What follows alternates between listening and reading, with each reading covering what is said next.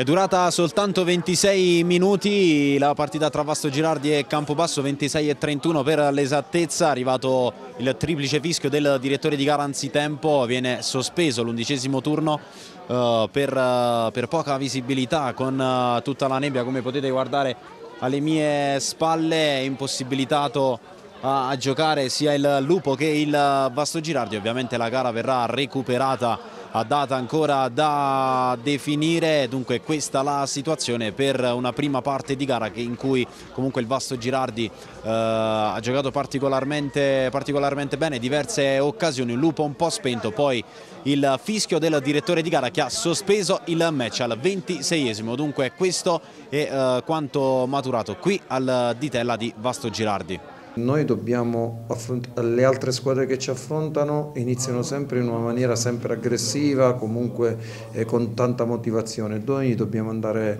oltre a questo perché se no poi diventa tutto difficile perché se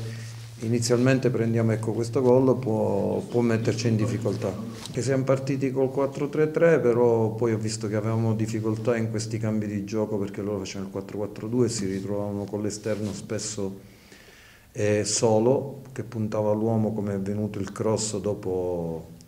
la situazione che era capitata all'inizio e quindi ci siamo rimessi di nuovo 3-5-2 però ripeto non siamo partiti bene. È la mia voi dite ma sì non l'abbiamo giocata poteva cambiare la partita però ecco io sono arrabbiato per il concetto di inizio di partita anche il contesto stesso, il viaggio, tutto e quindi queste partite devono essere affrontate con una mentalità diversa, cioè una mentalità di una squadra che deve essere subito aggressiva, non deve temporeggiare, deve fare soprattutto subito la partita. Dai campo passare, è sempre insieme a te.